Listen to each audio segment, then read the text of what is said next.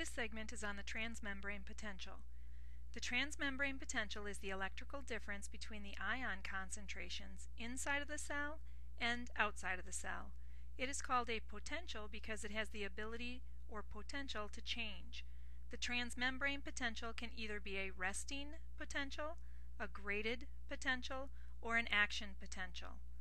A resting potential is the transmembrane potential of a resting cell. A change in the resting potential of a neuron would initiate neural activity. A graded potential is when a stimulus produces a temporary but localized change in the resting potential. The effect of this change will decrease with distance from the stimulus. An action potential is a change in the resting potential that is large enough to propagate or spread along the surface of the axon, and it does not diminish as it moves away from the stimulus.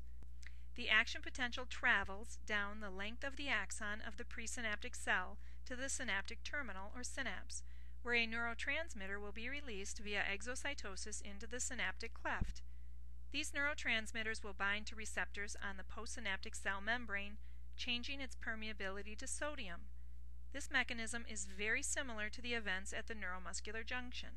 The postsynaptic cell will respond, but the response will depend on other factors such as what other stimuli are influencing the cell at the same time.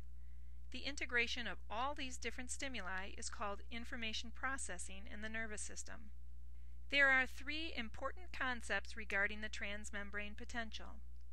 First, the extracellular fluid and the intracellular fluid differ in ionic composition. The extracellular fluid contains high concentrations of sodium ions and chloride ions, whereas the cytosol contains high concentrations of potassium ions and negatively charged proteins. The plasma membrane is not freely permeable to ions. If it was freely permeable, diffusion of ions would continue to occur until equilibrium was reached and an equal distribution of ions across the cell membrane was reached. However, the plasma membrane is not freely permeable, so equilibrium will not be reached. Ions can't cross the lipid portions of the plasma membrane. The ions can enter or leave the cell through membrane channels. There are many types of membrane channels, including leak channels. Ions move through leak channels when the cell is at rest or undisturbed or at resting potential. These leak channels are always open, and the movement of ions through these leak channels is a passive process because the ions diffuse down their concentration gradients, that is, from higher ion concentration to lower ion concentration. The permeability of the membrane varies by ion. It is easier for potassium to diffuse out of the cell through leak channels than it is for sodium to enter into the cell through leak channels. So there will be more potassium in the extracellular fluid near the cell membrane than there is sodium in the intracellular fluid near the cell membrane. There are also negatively charged proteins in the interior of the cell. As a result, the membrane's inner surface has an excess of negative charges with respect to the outer surface. The passive processes are both chemical and electrical in nature. The chemical processes are due to the concentration differences of the ions. The intracellular concentration of potassium ions is high compared to the extracellular concentration of potassium ions, so these ions tend to move out of the cell through open potassium channels. The movement is driven by a concentration gradient or a chemical gradient. Similarly, a chemical gradient for sodium ions tends to drive those ions into the cell. Potassium ions leave the cytoplasm more rapidly than sodium ions enter because the plasma membrane is much more permeable to potassium than to sodium. As a result, the cytosol along the interior of the membrane exhibits a net loss of positive charges, leaving an excess of negatively charged proteins. At the same time, the extracellular fluid near the outer surface of the plasma membrane has a net gain of positive charges. The positive and negative charges are separated by the plasma membrane.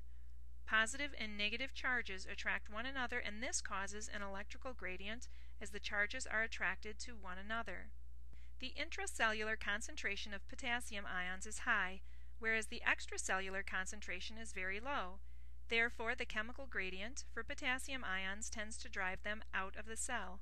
However, The electrical gradient opposes this movement because potassium ions inside and outside the cell are attracted to the inside of the plasma membrane and repelled by the positive charges on the outside of the plasma membrane. The chemical gradient is strong enough to overpower the electrical gradient, but the electrical gradient weakens the force driving potassium out of the cell.